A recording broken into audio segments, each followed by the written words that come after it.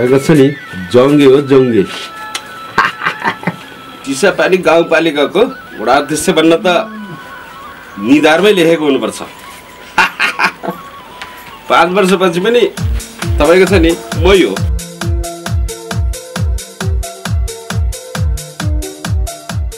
नमस्कार तपाईँको छ नि तेरो आउन्डाम अफिस आउन्डाम यही हो। आम्दा आम्दा ढिलो भयो त। कस्तो आउँदा आउँदा ढिलो? तेरो आउनु टाइम त छ बजे हुनुपर्ने बदमास। छ बजेमा किन नि? सबैको दस बजेदेखि चार बजेसम्म हुन्छ र मेरो कसरी छ बजेदेखि चार बजेसम्म हुन्छ। भएको छ नि? अझै मुख मुखै लाउँदो रहेछ। तेरो मुखमै लाउने हैसियत छ तेरो। यहाँ त वडा अध्यक्षको हुकुम चल्छ। बुझिस्? अझ त त त्यहीँ माथि पिउन। बडा बडा कुरा गर्दो रहेछ। तैँले साउदीको मान्छेलाई यहाँ ल्याएको भएर अलिकति अटेकोस् बुझिस् त?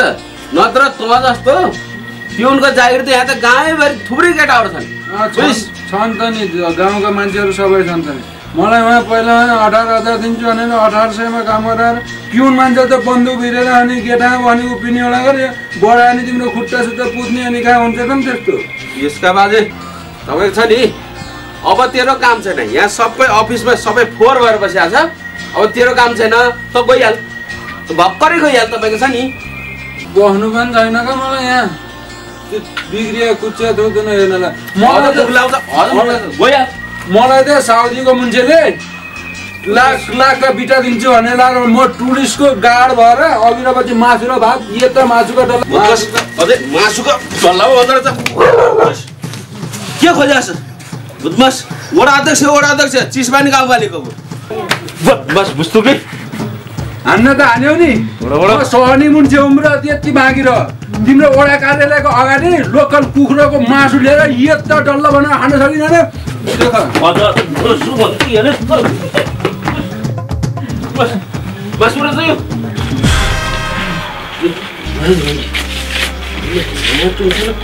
गल्ती त गरिएन गाडी तपाईँको छ नि कमिसनको कुरा थिए गाँठी साउदीको लागि कुरा लाउनु भयो क्या अब के अरे नेपालका वडा अध्यक्ष यस्तै हुन् क्या। म जस्तै त सबै छैनन् होला। नमस्कार नमस्कार हजुर। होइन तपाईँको यो चारामाला हेर्दाखेरि त चाहिँ पिएनको पनि काम आफैले गर्दै हुनुहुन्छ। बडा अध्यक्षको जागिर पनि आफै खाँदै हुनुहुन्छ। होइन यो सिस्टम चाहिँ बडो गजब लाग्यो है मलाई। ठिकै भन्नुभयो। तपाईँको सिस्टम त गजबकै हो नि। तपाईँको यो चिसापानी गाउँपालिकामा म जस्तो तपाईँहरूले वडा अध्यक्ष पाउनु त पचास वर्षसम्म धाएर पनि पाउनुहुन्न बुझ्नुभयो नि? बरु के कति कामले आउनु भएको थियो यसो बस्नुहोस् यता ल। बस्ने त बस्ने उम्, अलिकति मेरो यो ढाडको समस्या। हे, हे, साहब यहाँ होइन के? हे तेरो के भन्नुभएको? एकछिन बस्न हे यो त वडा अध्यक्ष बस्नु सिधो। हे एकैछिन दिनुहोस् न हे।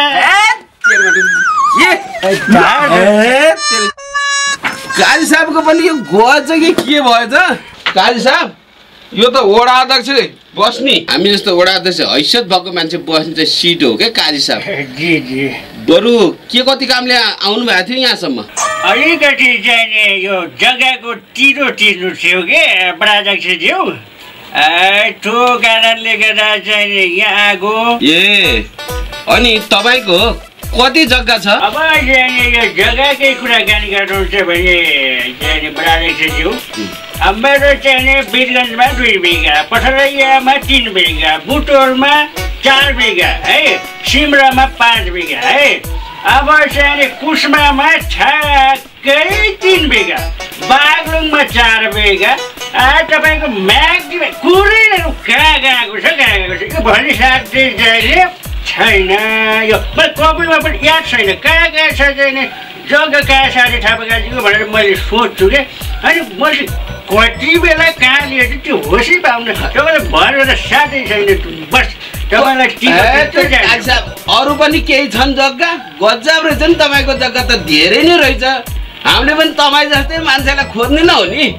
अब के गर्ने हुनुहुन्छ ल बरु त्यो के के छ? त्यो चाहिँ तिरो यहीँ तिरेर जाने।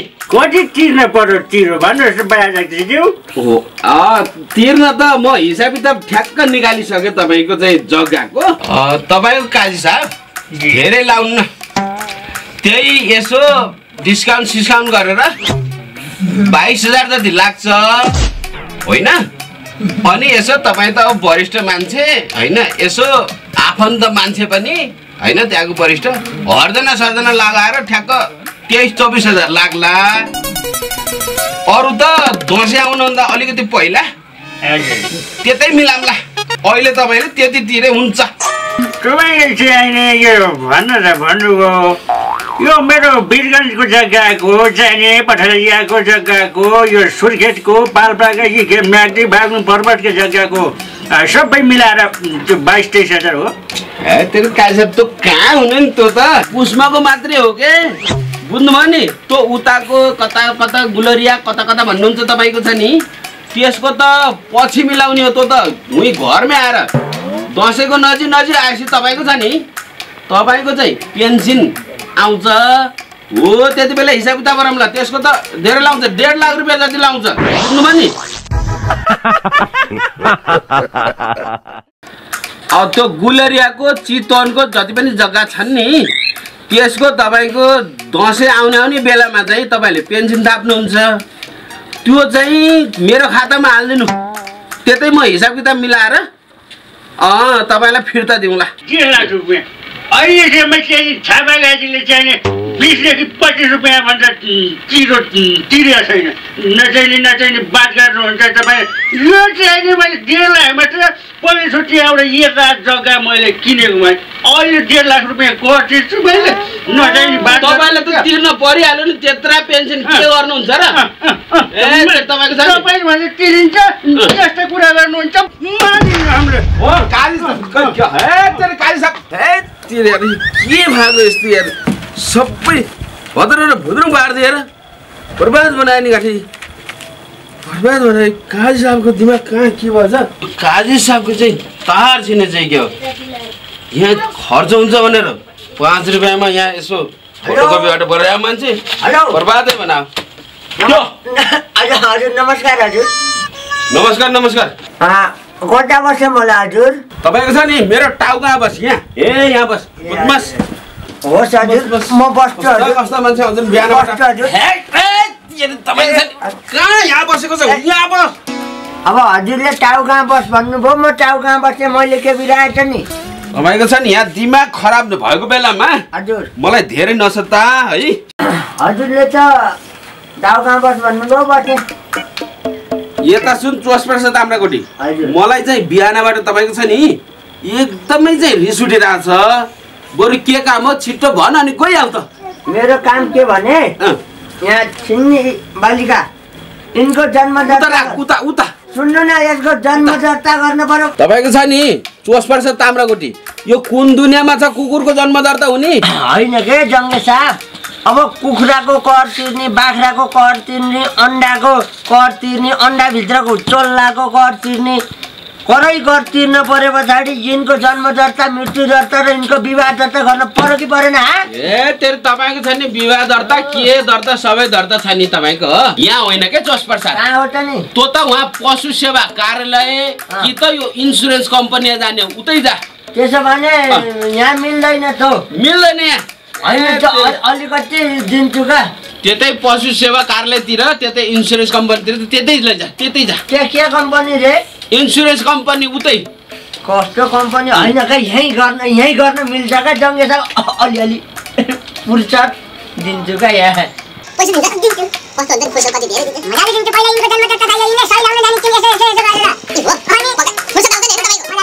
ल त्यसो भए दर्ता चाहिँ हुन्छ।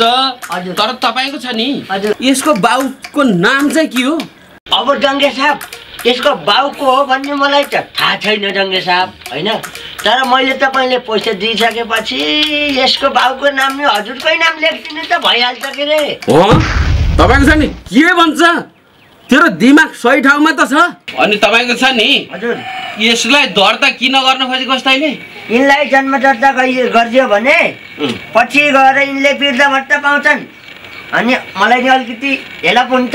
त्यही भएर हो क्या त्यसो भए मेरो नाम किन लेख्न पर्यो त नि ससप्रसाद तेरै नाम लेख्न त म भर्खरै बनाइदिन्छु नि यसो अनुहार हेर्दा हजुरको सित ठ्याक्कै मिल्दो रहेछ त्यही भएर क्या अझ अनुहार सडर भन्दो रहेछ मलाई यहाँ बताएको मात्रै गरिरहेको छ दुनियाँले तपाईँको छ नि के भएको यो गाउँ गाउँपालिकामा गाँठे बर्बाद भयो ए टुपर के पानीले त यहाँ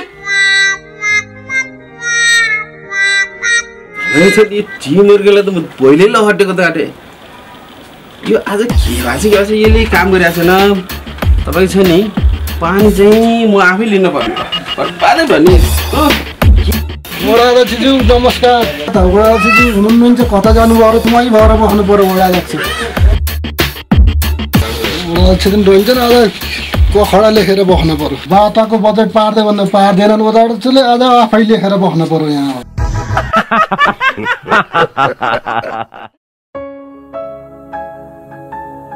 नमस्कार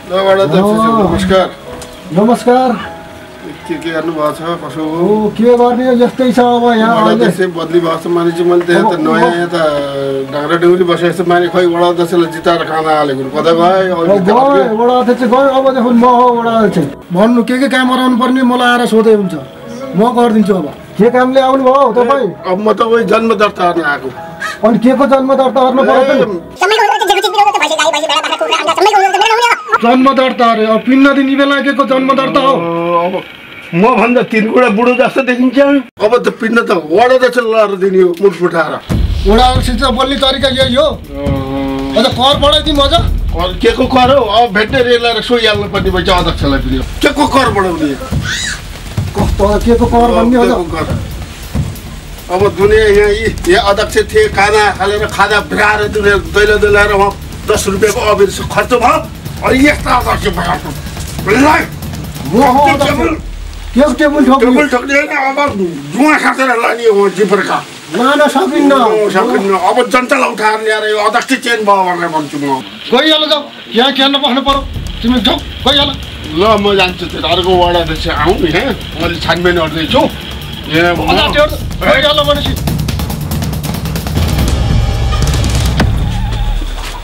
नमस्कार। के हो दाइ? के हुने यसो पैसा मनाएर मेरो परिचयमा कहाँ बस्नु लाग्यो कस्तो हुनु त अनि बसेको त एकजना आयो मलाई अध्यक्ष बनाएर नमस्कार अरू नि मैले मान्नेको गाली एउटा लखडिदिएँ होइन आज के भएको छ तपाईँको छ नि के भन्नु भएको? के भयो त्यस्तै आइराखेको थियो कि मान्छे मैले लखडिदिएँ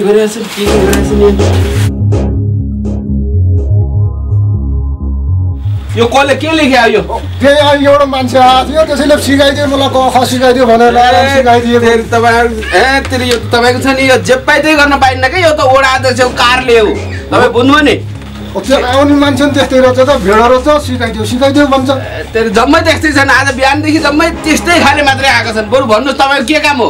त्यही त हो नि अध्यक्षज्यू अझ यो बाटोको बजेट आउने भन्थे अब कहिले हो आउने भनेर यसो अब त्यहाँ गाउँकाले अब मलाई सताइराखेका छन् अब यो बजेट कहिले आउँछ भनेर अब वडा अध्यक्षसित गएर भन्नु केही चिन्ता गर्नु पर्दैन। मैले उहाँ ठेकेदारलाई जिम्मा दिइसकेको छु।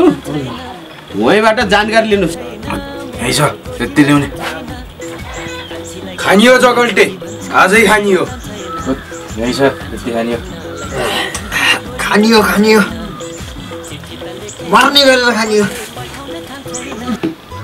के खाने सब्जीसित नि यार। मासु खाने नि अरू के खाने हो र। खान्छस् मासु। पैसा छ पैसा। बैङ्कमा तेरो ससुराले राख राखिदिएको छ क्या? मासु होइन अब नुन खाने नुन। ए साउ यता आऊ। बुढा के गर्दैछन्? ए नुन ल्याऊ नुन। चट्नी भएन मासु बनाउँदा मासु पकाउँदैमा केटा के यो लोकल लसु पनि नुनसा खान्छौ। खातामा लेख्ने खातामा लेख्ने भए पहिलेको उधारो छ पहिलेको तिर्दैन अहिले फेरि उधारोमा आउँछ हिरमलानी दाई साउदी जाने त्यस्तै हो अमेरिका गएपछि यो लोकल नुनसा खाँदा मराउनु केटा हो भ्यासै। नुनसा खानु सक्छौ? पुग्दै बोतल त चाहिन्छ। चाहिन्छ। ल म ढिलो गरेँ। अनि अनि पैसा पछि रौसीको त चाहिँदैन रौसीको पैसा दिए फेरि दिउँला नि यार दाइ यार ल ल म ल्याइदिन्छु हजुर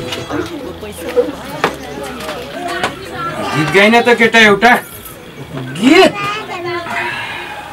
रौसी पनि झरिसक्यो अब सुन्नु म गाएपछि त हिन्दी गीत गाउँ कि नेपाली गीत गाउँ भन् न नेपालीको छोरा हो नेपाली गीत जाओस् ल है त।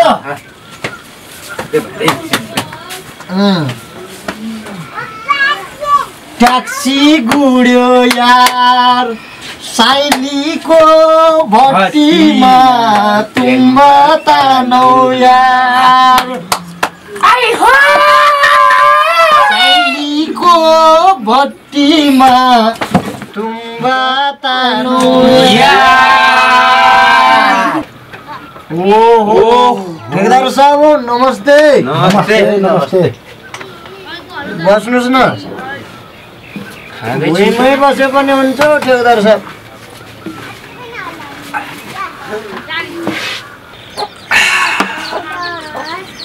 क्या गरौँ त नि ठेकदार साथ अलिअलि पैसा आउने जागिर लगाइदिए हुन्थ्यो बेरोजगारले लावारिसै भइयो यसो बेल्चा सेल्चा खन्ने भए पनि काम चाहिँ मिलाइदिनु पर्यो हो। साँच्चै खामार्ने हो। हो नि। यहाँ पोल्ट्रीमा सिटामल खाने त पैसा छैन।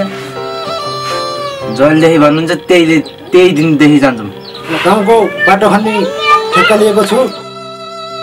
भोलि नौ बजेदेखि छ सय रुपियाँ सुक्खामा काम गर्ने हो। गर्ने नि। गर्ने। हो। ल त्यसो भए म गएँ त। हस्। ठेकदार साहब जय होस्। ठेकदार कि? जय। जय।